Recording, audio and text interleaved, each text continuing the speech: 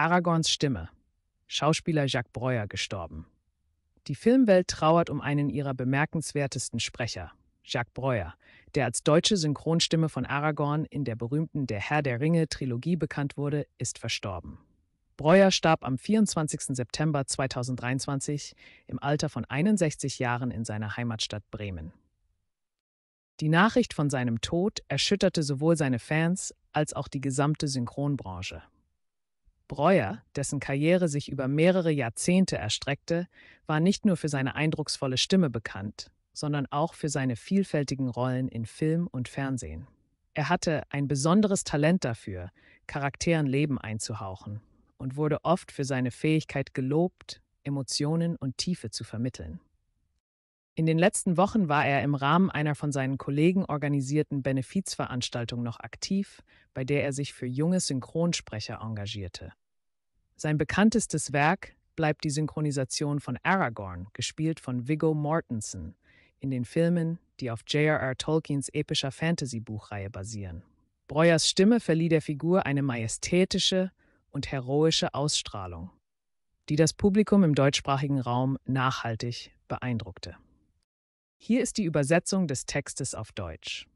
Viele Fans der Reihe erinnerten sich daran, wie seine kraftvolle und eindringliche Stimmprägung die entscheidenden Momente des Films unvergesslich machte.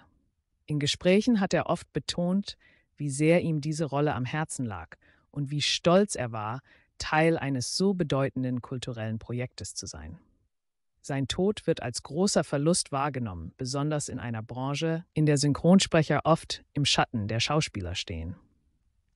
Branchenexperten hoben hervor, dass Breuers Stimmqualität und sein schauspielerisches Können ihn zu einem der gefragtesten Synchronsprecher gemacht hatten.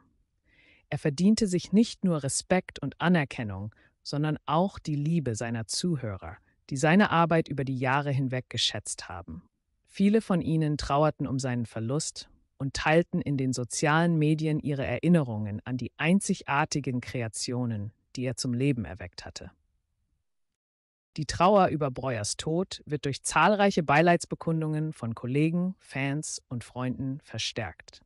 Diese haben nicht nur seinen bedeutenden Einfluss auf die Synchronisationskunst gewürdigt, sondern auch die Menschlichkeit und Freundlichkeit, die er in die Branche gebracht hatte. Sein unerwarteter Tod hat nicht nur eine Lücke in den Herzen seiner Zuhörer, sondern auch in der Welt des Films hinterlassen.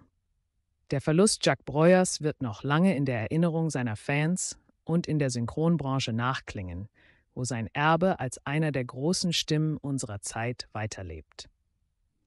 Ein eindrucksvolles Lebenswerk, das viele Generationen von Filmliebhabern erreicht hat, wird in Erinnerung bleiben. Autor Anita Farke, Dienstag, 24. September 2023. Bye.